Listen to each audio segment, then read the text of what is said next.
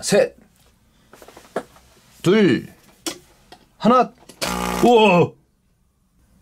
우와! 우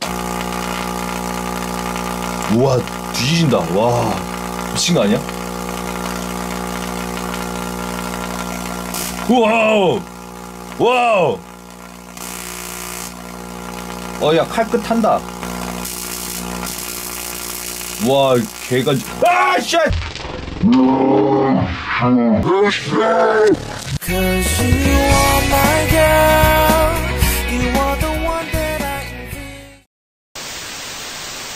안녕하세요, 여러분. 엽, 엽. 지질입니다. 오늘은 시즌이 예전에 제가 제 페이스북에다가 한번 제가 감전되는 뜯어본 다음에 제가 한번 시험 삼아서 만져보는 영상을 찍었었는데요. 이제 계속 이제 켜버릇하니까 이제 좀 이제 만만해진 것 같습니다. 자 오늘은 간단하게 테슬라 코일이 뭔지를 알아보고 테슬라 코일로 할 수 있는 몇몇 실험들을 한번 보여드리도록 할게요. 자 그럼 시작하도록 하겠습니다.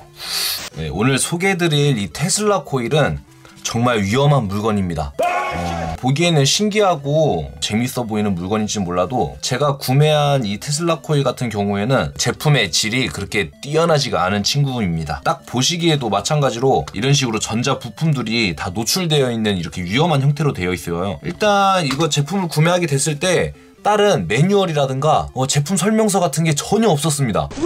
좀 당황스러웠어요. 껍데기를 딱 깠는데 이렇게 들어있는 게 전부였어요. 이 새끼들 아니 줬으면은 220V로 전환할 수 있는 이런 돼지 콧구녕이라도 좀 줘야 되는데.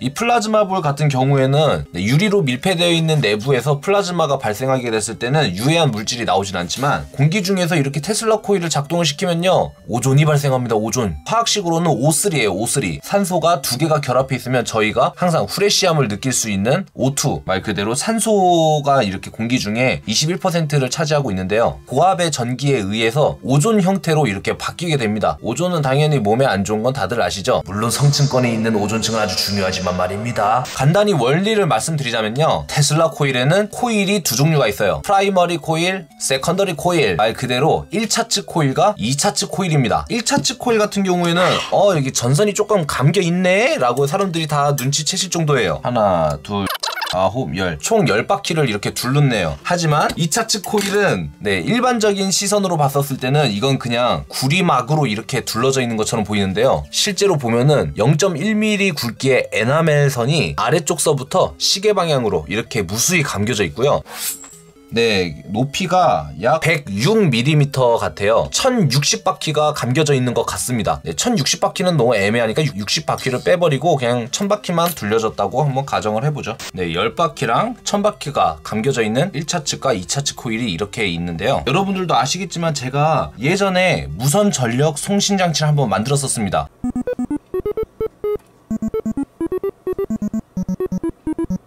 에나멜선과 트랜지스터를 이용을 해가지고 LED를 이렇게 밝게 밝힌 적이 있었는데요. 트랜지스터라는 친구 자체가 껐다 켰다 해주는 스위칭 역할을 해줍니다. 코일에 전기가 흘렀다가 멈췄다가 흘렀다 멈췄다가를 반복하게 돼요. 그렇게 됐을 땐 여러분들도 이제 다 같이 알고 있는 전자기 유도 현상이 일어나게 됩니다. 네, 전자기 유도 현상을 네, 쉽게 관찰할 수가 있습니다. 대표적으로 여러분들이 항상 가지고 다니는 교통카드가 있어요. 교통카드 안에는 에나멜 선이 이렇게 감겨져 있고요. 그리고 끝부분에는 칩이 들어있어요. 자기 유도를 하는 이 장치 위에다가 카드를 올려놓게 됐을 때 카드에도 전기가 흐르게 되면서 이제 카드의 데이터를 읽어서 이 사람이 어린이다, 어른이다, 고자입니다.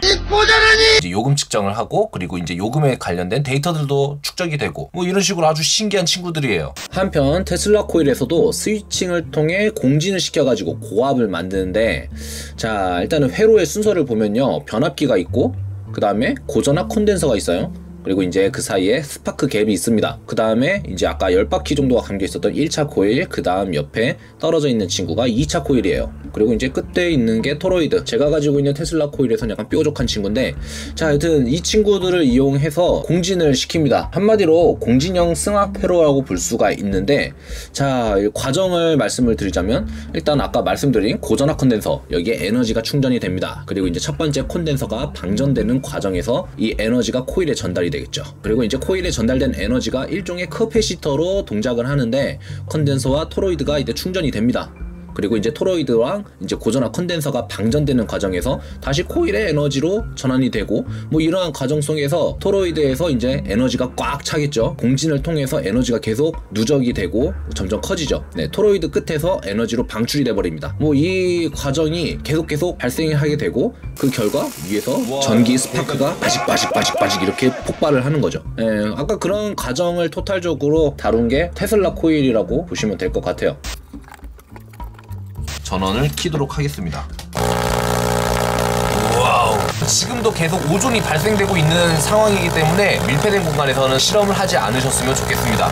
예전에 제가 이 플라즈마볼을 한번 보여드린 적이 있었는데요. 이런 식으로 전구에 희미하게 이렇게 불을 넣어줬었죠. 그 원리는요, 이 플라즈마 볼에서 나오는 전자파가 네, 이 유리관 안쪽에도 이렇게 전극이 들어있는데요. 양쪽 극에 전류를 흘려주게 됐을 때 이 안에 있는 형광 물질들이 흥분을 하게 되면서 발광을 하게 돼요. 이런 식으로 원래 전원 소스를 연결해 주는 게 아니라 이런 식으로 전자파를 가해주게 됐을 때 이 유리관 내부에 있는 형광 물질이 바로 이 전자파에 바로 다이렉트로 반응을 해가지고 바로 발광을 하는 그런 뭐 현상이에요. 우리의 무시무시한 이 테슬라 코일님께서 번쩍번쩍 해주실 때 어떤 영향을 미치는지 한번 보여드리도록 하겠습니다. 으쌰. 네, 이렇게 멀리 떨어져 있는 거리에서도 이렇게 바로 점등이 됩니다. 아, 지금 제 생각인데 지금 이 친구도 계속 켜져 있는 상태가 아니라 꺼졌다 켜졌다 꺼졌다 켜졌다를 반복하는 상황이거든요. 이 테슬라 코일도 그 주파수에 맞춰서 이 친구가 계속 움직이고 있는 걸 거예요.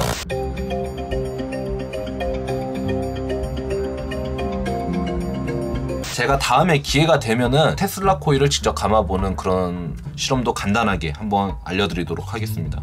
금속 물체, 전기가 잘 통하는 그런 성질이 있는 거 다들 아시죠? 네, 아까 처음에 영상을 보셔서 아시겠지만 아까 이 드라이버 끝 부분을 이런 식으로 갖다 댄 다음에 엄청 가까워지니까 이 플라스틱을 뚫고 제 손을 타고 들어왔어요 전기가 그 정도로 이 친구가 상당히 고압이라는 거거든요 이런 흉악한 친구들도 이런 나무 앞에서는 한없이 작아지기 마련인데요 플라즈마가 발생한 거가 상당히 고열 부분이기 때문에 아 용광띠 나무를 비록 태우긴 하겠지만 지져보도록 하겠습니다.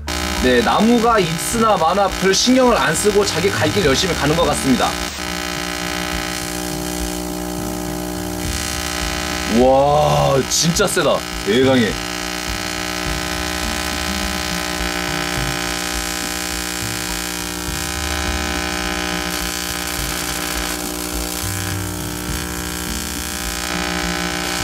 아까 전에 제가 드라이버를 잘못 갖다 대가지고 손에 전기가 올라탔지만 제가 죽지 않고 살아났던 이유가 전류치가 상당히 낮기 때문이에요.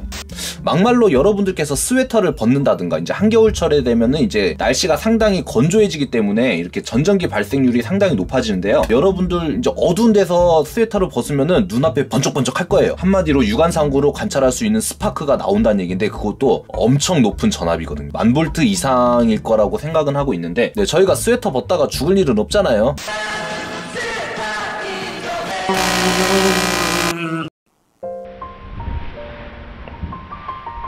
네, 그렇게 된 이유가 전류치가 낮기 때문에 죽지 않는 겁니다. 그래서 저도 안 죽었고요. 네, 그것을 보여드리고자 네, 오랫동안 못 찢지지만 짧은 순간에는 죽지 않고 살아날 수 있습니다. 자, 보세요.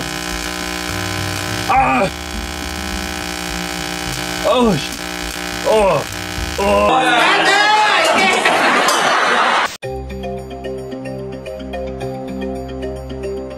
네, 라이터를 딱딱 갖다 댔을 때 떨어지는 딱 그 느낌이랑 거의 비슷한 것 같아요. 반면 이런 통째로 쇳덩이를 이용해가지고 여기다 갖다 대잖아요. 그러면은 또 제가 고통을 느끼진 않습니다. 자, 죽지 않고 살아보겠습니다. 짜잔. 어때요, 여러분? 제 손에 직접적으로 타오르는 게 아니라 이런 식으로 한번 간접적으로 튀게 되면은 네, 별 느낌이 안 나요. 물론 지금 제 몸에 전기가 흐르고 있는 거는 사실이지만 고통스럽지는 않습니다. 여러분 제가 뭔가 하나를 간단하게 만들어 왔는데요. 나사에다가 에나멜 선을 하나 짧게 잘라가지고 이 주변을 이렇게 무게 중심을 맞게끔 이렇게 한번 만들어 봤습니다. 자 이거를 왜 만들었냐면요. 제가 여기서 발생되는 전기, 네 이 전기가 역학 에너지로 바뀔 수가 있다는 거를 한번 여러분들께 보여드리고 싶어가지고 이 모빌 같은 애를 하나 만들어 왔는데요. 바로 전원을 투입해서 어떤 현상이 일어나는지 한번 보여드리도록 할게요. 셋, 둘, 하나.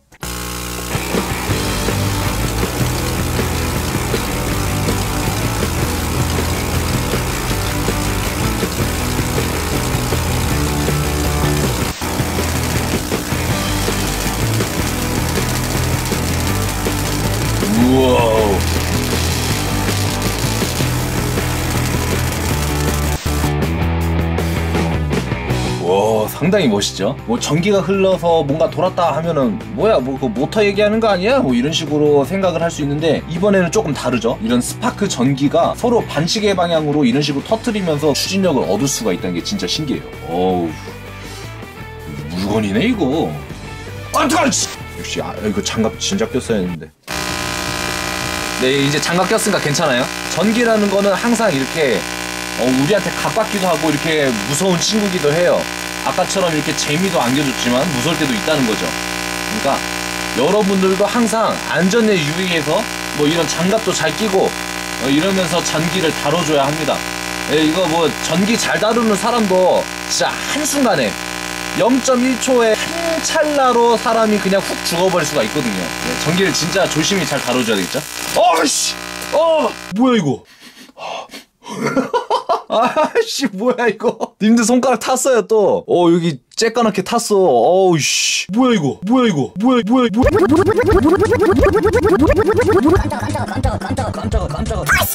님들 손가락 탔어요 또. 네, 220V 만질 때도 이렇게 감전이 안 되는 장갑이거든요. 근데 얼마나 이, 이 새끼가 네, 얼마나 전압이 센지 전련 장갑을 뚫고 이렇게 손가락에다가 또 이거 오징어 탄 냄새 만들었네 이거. 아 이것이 그지 같네 이거. 네, 여튼 항상 전기는 언제나 조심하시기 바랍니다, 여러분. 지금까지 지지였습니다. Yes.